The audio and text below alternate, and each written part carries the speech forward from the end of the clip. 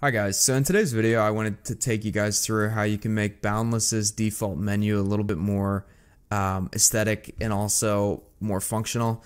So Boundless is a free theme on Shopify. It's it's quite a good looking theme as far as the rest of the uh, theme goes, but I, I find that the menus are, are very bare bones and very um, just not great to be quite honest with you. So we can see an example of this here. I have my test site pulled up and you can see when we hover over our mouse on these menu items, there's no drop down that pops up. Um, unfortunately, they haven't coded in a drop down. So to code in a drop down, if you guys already don't know how to code, you definitely have to hire a developer to do that. But what I'm going to give you guys is sort of like a happy medium between those two things in this video.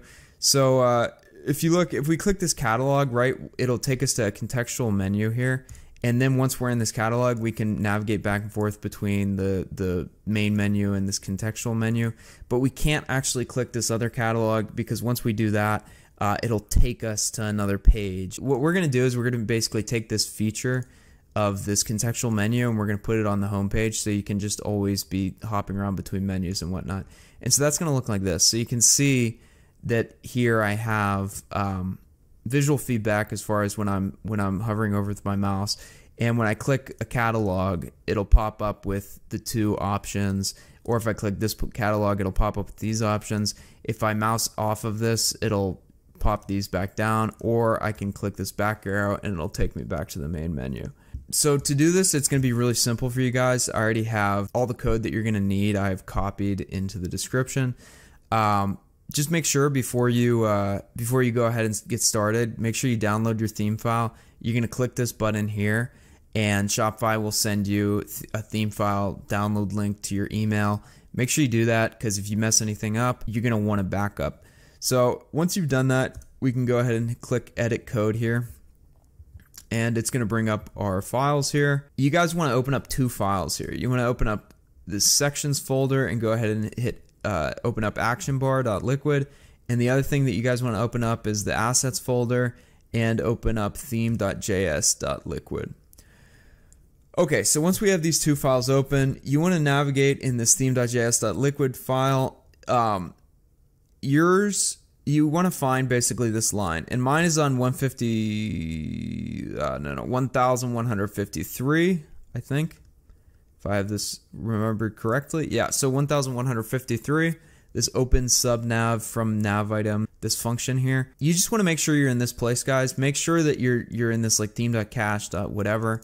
Um, make sure you're here. Don't don't go messing around with like anything else because you might break your site. Go ahead and press control slash and that will put the this double slash here which comments out this line of code.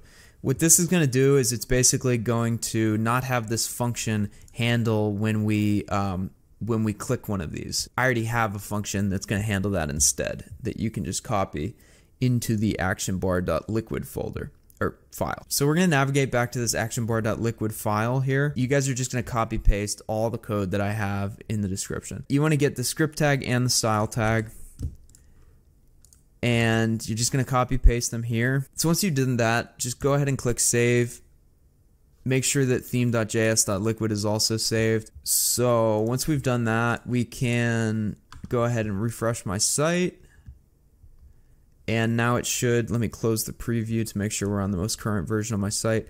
And so now um, you can see it has the features that, that we were talking about before where it gives us some feedback when we hover and it also gives us these contextual menus and we can go into the second catalog now. We can go into the first catalog and these links are going to go to where they should go. This one goes to google. This is just a test site guys obviously. So that's how you make your menus a little bit prettier and more functional and boundless. Uh, if you guys enjoyed this video i'd appreciate if you leave a like. Um, what i do on this channel is basically i make videos about um, how you can build your, your Shopify brand and also how complete uh, people who don't know how to code at all can start to learn how to get into the, the code of their site and really like make their site look the way that they want to look without having to download apps that slow down your site and cost a monthly fee. The other thing, guys, is until I hit a thousand subscribers, I'm giving out free consultations each week uh, to random subscribers for their Shopify brands. Um, if that appeals to you, you have to be subscribed to be eligible. So make sure you subscribe. And I'll see you in the next one, guys.